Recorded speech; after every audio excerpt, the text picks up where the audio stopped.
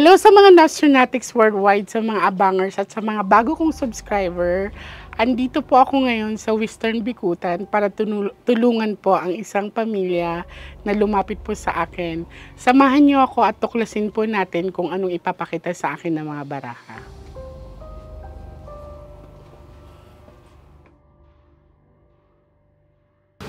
So, bago kami mag-start, gusto ko munang pasalamatan ang ah, pamilya na nag-welcome sa akin dito. Unang-una, wala ako dito kung wala sa pagtitiwala nila. So, malaking bagay sa akin na yung buo yung pagtitiwala nila. So, titingnan po namin ngayon sa baraha kung ano pa ang revelation na ipapakita sa akin. Kasi, nung pumasok ako dito sa entrada pa lang ng bahay nila, ah, may sumalubong na sa akin na negative energy wherein I found out that there is a lot of um, entry, no? So, may mga portal sila na which is aayusin ko mamaya before and um, no no no after the reading namin. Yan. So aayusin namin mamaya ang mga portal nila after the reading. So ready ka na darling? Yes po.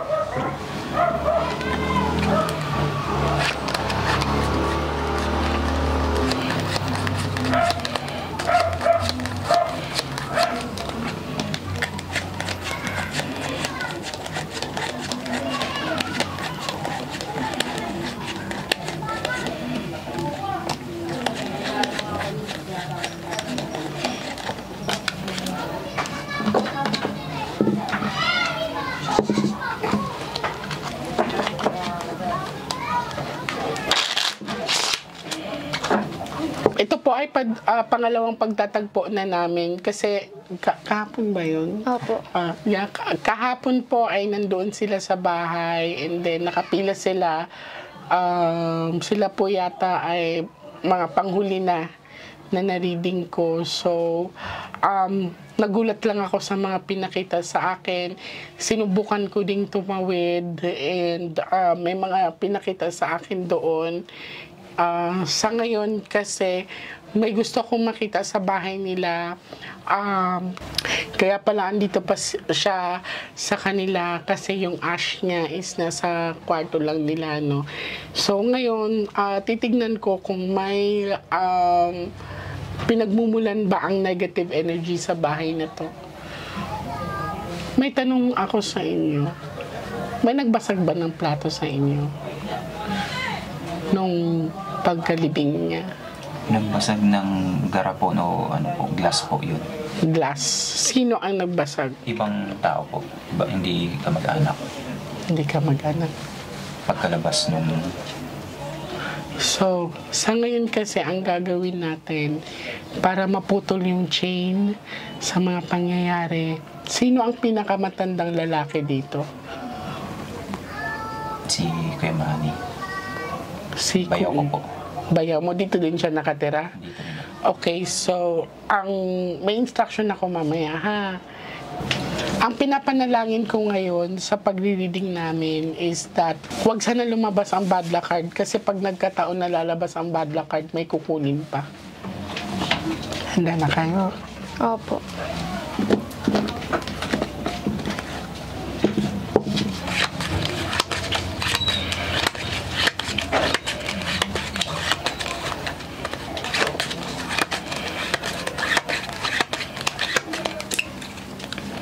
I want you to pick one.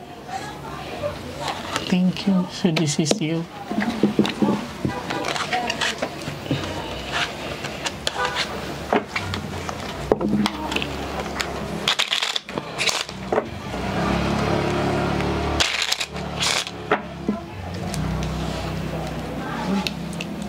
Cut the cards into three, darling. Mag-aas mo na akong guidance, kuya, ha?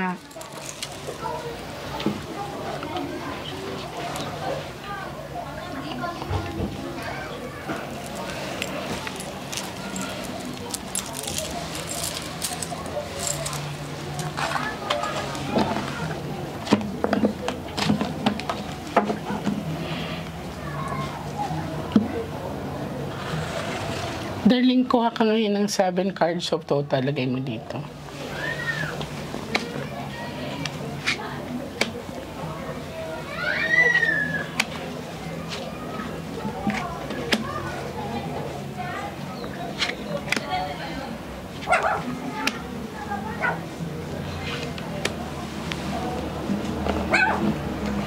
So, ikaw to, darling. Pag may queen dito, siya na to, ha? So, this is you. Pagdadalawang isip. Ano? O, diba? This is very consistent. Kuya. So, eto na nga ang kinakatakutan. Kailangan nating bilisan na huwag kayo matakot. Kailangan mag-compose lang tayo ng energy ng nginig ako. This is recorded and this is 52 cards. Maingat po siya bumunot ng baraha. It simply means that the area is there is a demonic energy. Ang taas ng chances na may nakabout sa bahay na to. Huwag kayo magalala. Gagawin ko makakaya ko. Hindi pa to pangalawang beses ang pagkikita natin. Susubaybayan ko kayo. This is four box of dark. Ano nga ito? This is empty room, empty space, kabaong. Hindi na ako makakapayag pa na may susunod pa or may kukunin.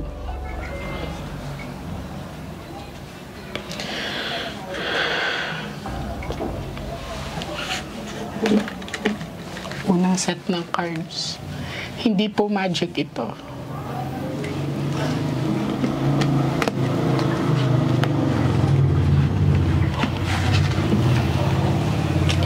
So wala sa inyo ang um, wala sa inyo ang bad luck card kundi dito. Kailangan natin ma-close ang lahat ng portal na makikita ko.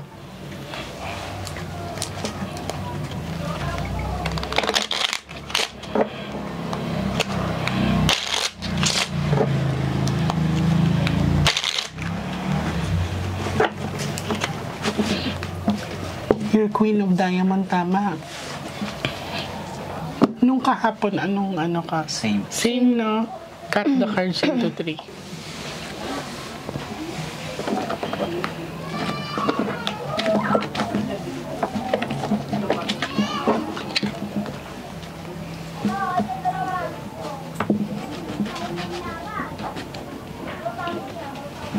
Now, darling, kumuha ka ng nine cards of total lagay niyo dito.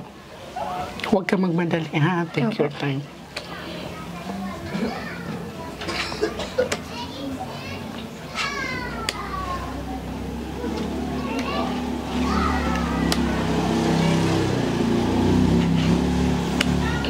Kailangan nating agapan to.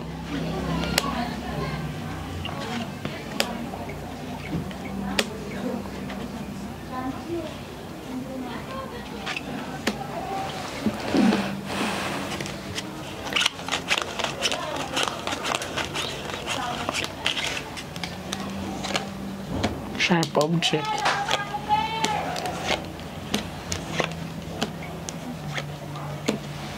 Ilan kayo lalaki din dito? Tatlo.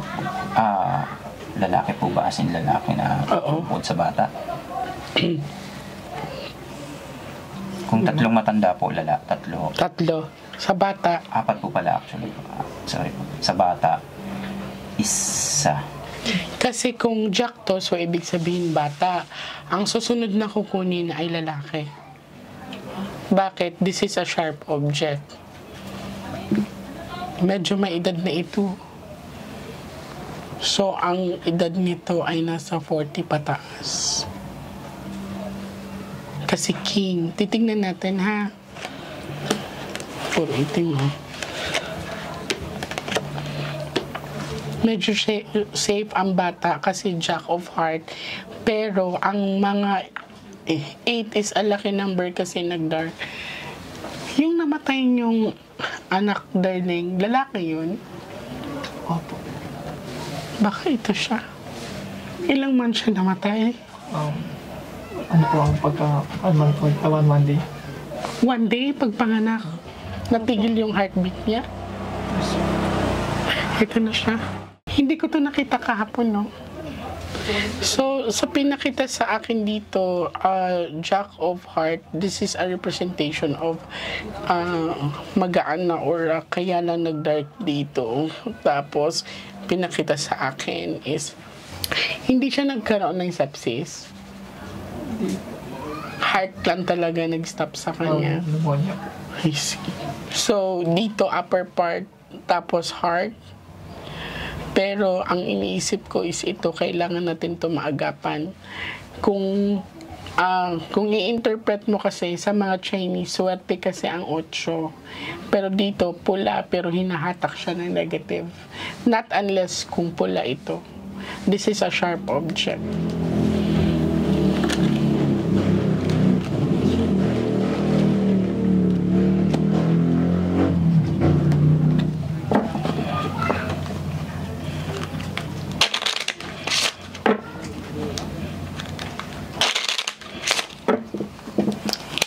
Talaga nasingit ko kayo.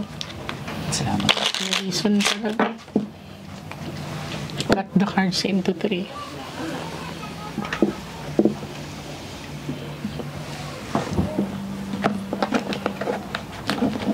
Kasi usually, pag nag-schedule ako ng cleansing at saka ganito, inaabot po siya ng isang buwan or mahigit the, the urge na na-feel ko kahapon. Kaya nagulat ako, ang, ang naisip ko kasi is next Wednesday. Nawala sa isip ko ng Wednesday na pala ngayon. Kailangan talaga nating bilisan. So, kuha ka darling ng um, 12 cards of to talagay mo dito.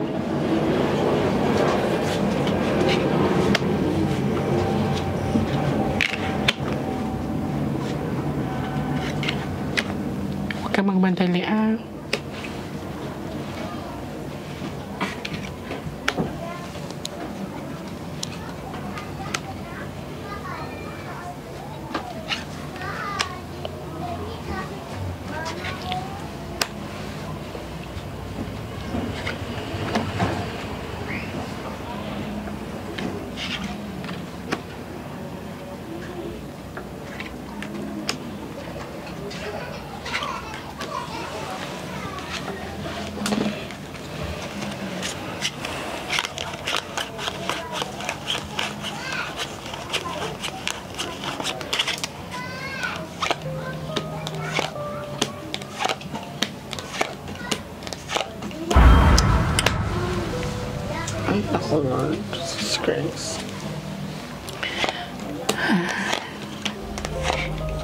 Huwag na sana may king pa. Okay, so hin- ah, hindi niya to, si ano to, si yung wife mo, actually hindi niya talaga tanggap yung pagkamatay niya. oh. Kung Ace of Heart kasi yan, that's a representation of happiness and love, life, at peace. So, ang gagawin natin ngayon ay, um, again, this is 52 cards, we shuffle it together. Kahapon nung nagpabasa sila, um, yung wife ni Kuya, anong pangalan niya? Ay, rin po, yung wife ko po, um, Shanay po. Shanay. So, si ate, nakitaan ko sa cards na nagkaroon siya ng trauma or uh, yung depression sa pag postpartum depression sa pagkawala ng anak nila. And sinubukan kong makatawid and nagulat ako sa pinakita sa akin kasi nung nag nagre-reading ako sa bahay, tingin ako ng tingin kay kuya, um, doon ko na-identify na siya yung partner kasi sinabi sa akin na partner, akala ko magkakapatid lang sila. While doing my reading, nagulat ako kasi nakita ko si ate sa kanya, nasa tabi niya pero nasa likod. And that was the first time na sinubukan ko makatawid. And na- nakita ko doon na there is there was an accident na nangyari. And ang kailangan naming mahabol ngayon kasi kaya ako nandito para makita kung saan nag, nagmumula ang negative energy. It's we're dito talaga sa area nila. Ah, namatay ang anak ni Kuya anong araw? 15 po. January 15. January 15 and then they have a accident last um, February. February 15. So, ngayon, ang kinakatakot ko kasi lumabas ang bad luck card. Pero gagawin ko ang makakaya ko na um, mawala to. So, i-cool down natin ang cards ng 2 weeks. Ha? Nanginginig ako. Eh, I-cool down natin ang cards ng 2 weeks.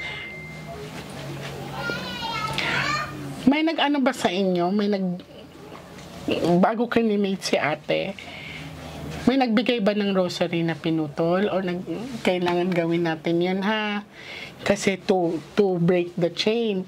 So, dahil ikaw yung husband niya, kuya, bumili ka ng rosary, ipabasbas mo muna. Okay? Ipapasbas mo muna. Pagkatapos ibasbas, putulin mo. Do- doon ka sa pagputol mo, doon ka malapit sa ash ni ate. Doon ka magputol. And then, yung pinutol mong rosary, ibaon mo dito. Okay? Now, kuya, sino ang pinakamatanda dito? Si Bayo ko po. Bayaw mo. Okay, ganitong gagawin niya. Friday niya to gagawin ha. Alas 12 ng tanghali or alas 3 ng hapon. Magbasag siya ng plato dyan. Okay, hagis lang niya. Friday. Friday po ha, alas 12, alas 3. Hindi, ano, dapat siya lang ang magbabasag. Now, ang maglilinis ibang tao. Okay? Ang gagamitin ninyo ay walis ting-ting. Hindi walis tambo, walis ting-ting. Okay? So, ang gagawin ko din is isi-shield ko ang bahay ninyo using a rock salt. Ang rock salt kasi, kuya, yan yung mga ginagamit ng old babay lands to protect our king and queens from harm, from war, from sickness, from witchcrafting. Yun ang gagamitin na, natin lang. Kasi pababalikin ko sila doon sa bahay. And then, ang gagawin natin sa open portal ninyo, kung napapansin nyo, di ba, open, nakikita mo, lagus-lagusan kayo. So, ang gagawin natin, kuya, to break the, the lagusan,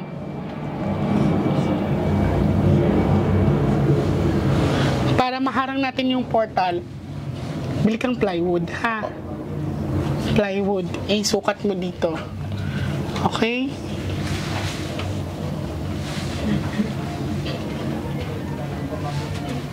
Asan yung chinchin dyan?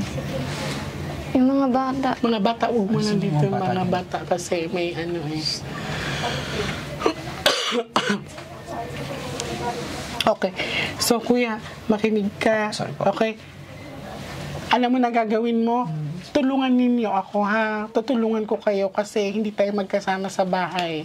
Actually, ito ang inano ko. Twice na siya lumabas. Four aces yan, kuya. Um, eto, kuha kang plywood. Takpan mo to. Okay? Kailangan matakpan to. And then, ang next natin gagawin is that pumili ka ng kulay, gray na cortina or black. Okay? So, ang gagawin natin, since na ito ang pinaka-main door ninyo, maglagay ka ng cortina dyan. Okay? Green or black? Oo, gray or black lang. Gray. Gray, gray. Tapos, dark gray or black. Yan. Tapos, itong mirror na to, nakatapat din siya sa bintana. Tatanggalin natin yan. Okay? Tapos, sa kwarto, ni yung kwarto dito. Dalawa po. Bali, Dalawa. tatlo po. Tatlo. Okay. Again, ang paanan nyo ay wag sa pinto. Ha? May history ang bahay na to. Huwag kayong magpadugo, ah. Um, way way back po, may nangyari pong padugo dito eh. Ano, mga ano na po yun eh. Hindi ko lang po matandaan kung 10 years ago ba pagkamatay ng tatay namin. Sino nagpadugo? Um, friend, friend lang na, na kakilala nung kamag-anak namin. Bakit siya nagpadugo? Hindi ko rin matandaan pa paano yung nangyari nun eh. Parang nire- ni-refer lang. Na, Kasi kakaiba din kasi yung pagkamatay. yung ano niya, pakiramdam daw niya. Ah, okay.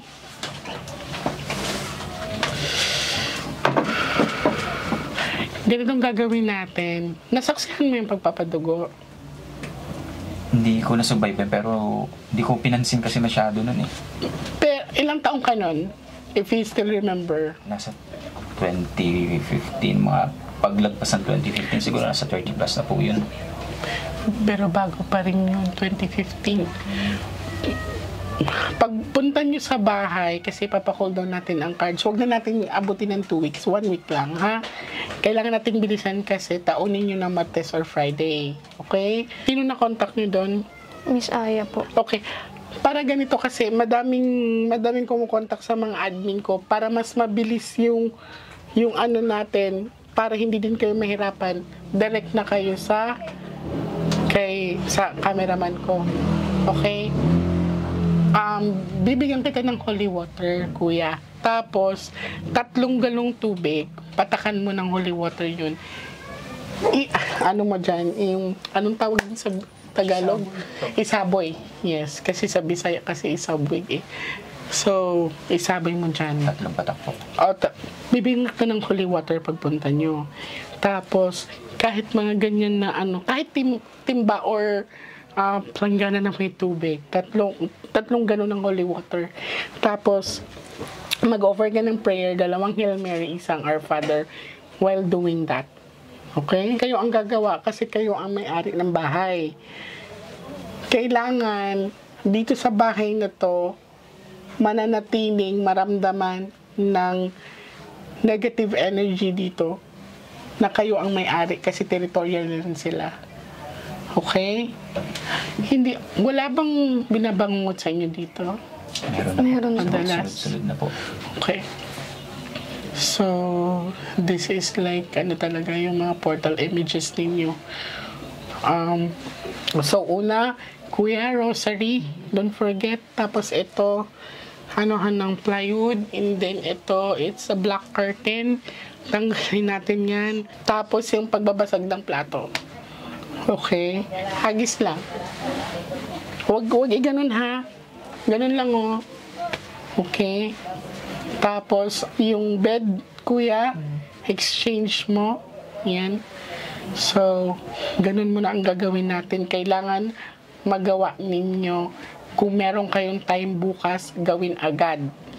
Tapos, magkikita tayo by next week na Martes or Friday to stop this. Kailangan mawala to. Hmm.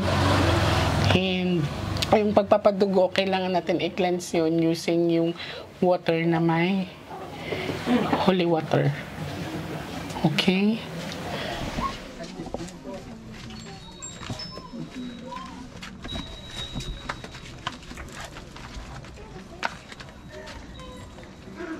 Tapos doon tayo papasok. Kuya. Ito, ano pa rin po namin. Ah, ito. Paupahan pa rin. Paupahan ninyo. Na wala na pong tao. Gaano nakatagal nang walang tao dyan? Bago po matapos yung taon to.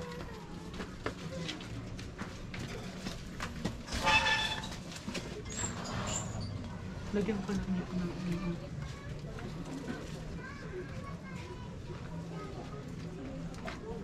Medyo tama pa rin yung ano niya.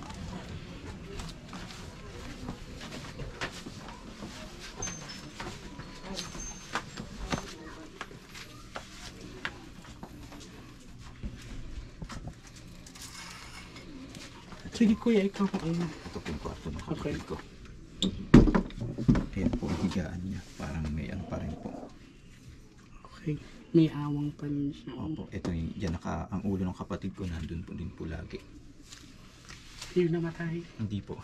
Yung andyan po kasama Ah, ko okay. So, sabihin mo, mali ah. Sabihan ko na lang po kaya naisip ko.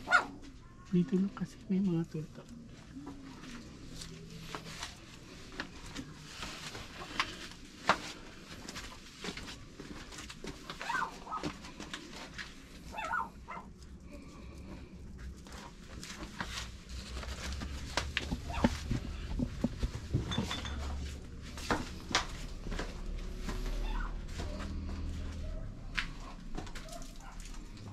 tuto. naman po, bahay po ng ate ko.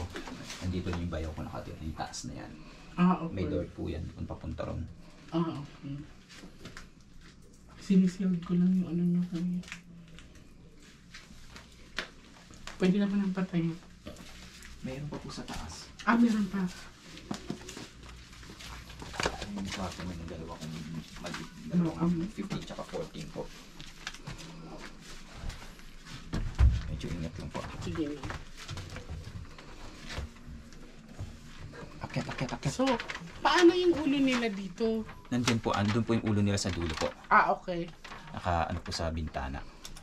Huwag lang tuwalis. So, dito yung ulan nila, nila no? Ako, dun po, ang ulo. Okay, very good. Basta, walang magpapaka ng pag ganun dito. Wala naman. Okay.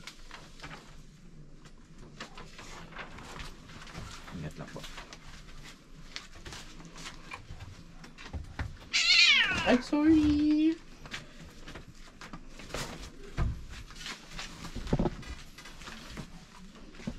At saka ito hindi pwede ang kaldero.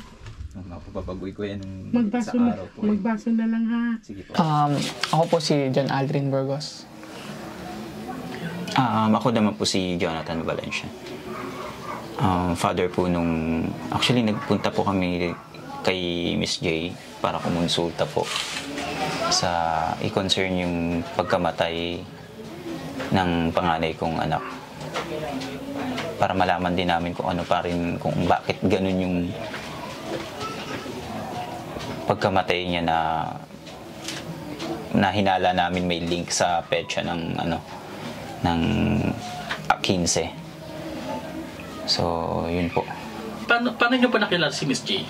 Um, through internet po. Bali napapanood niyo po siya, gano'n po ba? Minsan po napapanood po namin. Um, napapanood din, nababanggit din ng panganay ko dati bago siya mawala. Um, nagkwento po ba kayo, sir, kay Miss J about sa nangyari po dito or bago siya mag-reading sa, sa Hindi po, wala po kami nabanggit.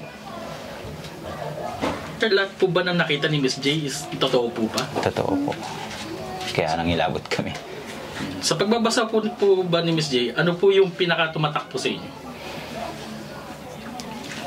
Um, yung sa akin kasi, actually wala talaga kaming sinabi kay Miss J na any details regarding po dun sa accident nung um, asawa ko po. Pero nakita po ni Miss J yung pinaka pinaka road po, like yung C5 Naghihinagpis naman ang mga kaanak ni Zenay Valencia matapos siyang magulungan ng truck sa may C5 sa bandang Makati. Kwento ng ka-live-in partner ng biktima na si John Aldrin, angkas niya sa motorsiklo si Valencia nang masagi sila ng truck. Nakaiwas pa siya matapos sumemplang.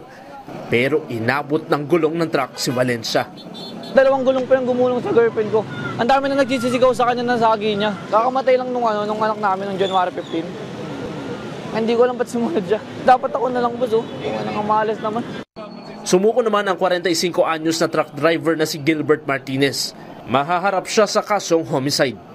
Nung lumingon ako, wala pa naman sila pero na nung may kumiyakit sa gilid, hindi ko hindi naman ako namreno kakagad at kasi nung, tum, nung tumingin ako, andun na nangyari na. Tatanggapin na, nandyan na yan. po. Ayun po yung pinaka um, kumuha ng pansin ko na kumuha din ng tiwala ko kay Miss J po. Kumari si ito po si Shanay Vale- Valencia. Valencia. Ano po yung message niyo po sa kanya?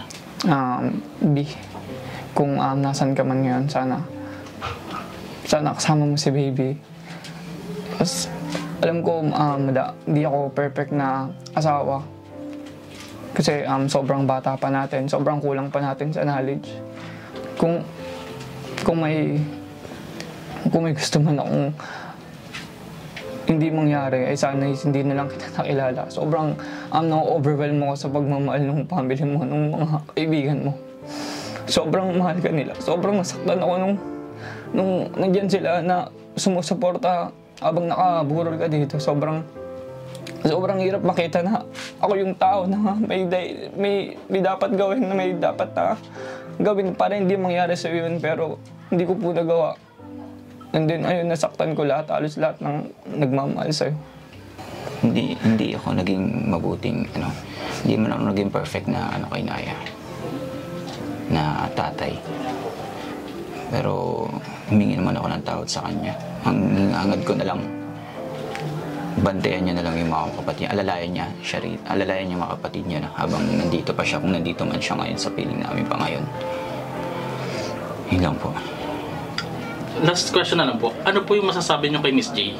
Um, ay, nagpapasalamat ako kasi um, um, dahil po sa kanya nagkakaroon po ng um, lakas yung pamilya lalo ni Valencia na um, pamilya ng asawa ko po na um, hindi matakot sa mga um, paparating kasi um, nandyan siya mag-guide. And ayun po, ayun po talagang pina, pinakatakot ng pamilya ni ng partner ko po, ng asawa ko po is yung mga susunod pang mangyayari. And thankful po kami na nandyan po si Miss J para gabayan po kami. And then mapigilan man ano man po yung mga susunod na mangyayari. Yun, um, yun po. Um, nagkaroon kami ng lakas ng loob para harapin yung, ano, yung mga posibleng mangyari na para makontra pa siya o something kasi sobrang nangangamba na kami. Kaya pasalamat kami kay Miss J talaga. Yun po.